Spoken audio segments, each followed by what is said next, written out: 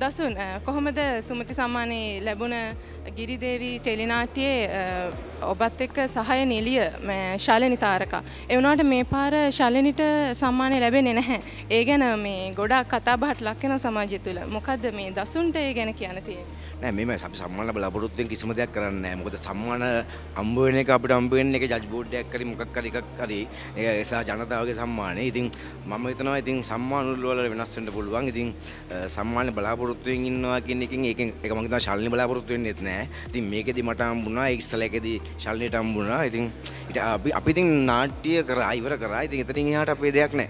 ශාලිනිගේ රංගනය ගැන කතා කරොත් ශලත් එක්කම වැඩ කරලා තිනවා. කියන්නේ මගේ කෝස්ටා විදියට කියන්නේ ඒ කියන්නේ ෆිල්ම් ටෙල්ඩ්‍රාමස් ගොඩක ශල්නි කියන්නේ මගේ සහෝදරෙක් වගේ සහ ඉතාම හොඳ සපෝට් එකක් හම්බුණා. ශල්නි කියන්නේ හොඳ රංගන ශිල්පියක් මේ වෙන මේ වෙනකොට ඉන්න. ඒක ගිරි දේවිගේ මම ශලාට කිව්වා අනිවාර්යෙන් ශලාවට සම්මානයක් හම්බුණා මේ කියලා. ශලාට ඒකේ හම්බුණා සව සම්මාන වල හම්බුණා. ඉතින් ශලා ඒක හොඳටම කරා. ආශායේ ආශා කියන චරිතේ ශලා හොඳටම කරා. ශලා තව ඉස්සරහට තව හොඳ වැඩවලදී තව හම්බුවේ මං හිතන්නේ ඉස්සරහට ශලාගෙන් හම්බු සපෝට් එක කියන්නේ ඒ හැමදේම මික්ස් වුණාම තමයි ඒ දේ හම්බ වෙන්නේ. ඉතින් බොහොම ස්තුතියි.